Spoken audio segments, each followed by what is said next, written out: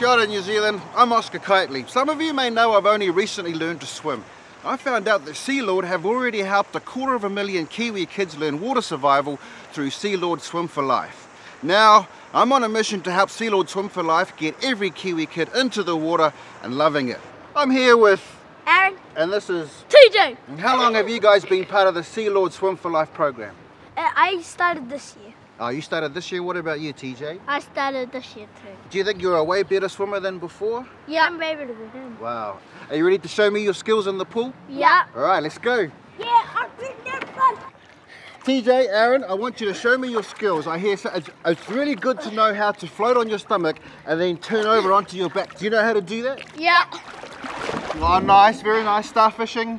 And wow, that was amazing. I've heard about this thing called a mushroom float. What's that? Uh, when you wrap your hands around your knees. Oh wow, they are floating. I, I'm, I'm going to try it.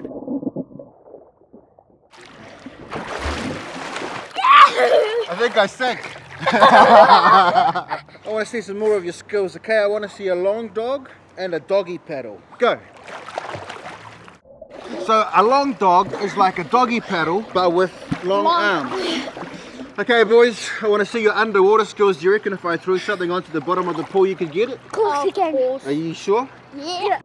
Yep, he's going, he's going, he's found it, he's located it. Yeah! Awesome. Right, let's go for a swim. To get your kids involved, go to sealordswimforlife.org.nz. See you in the water. It's awesome. Yeah!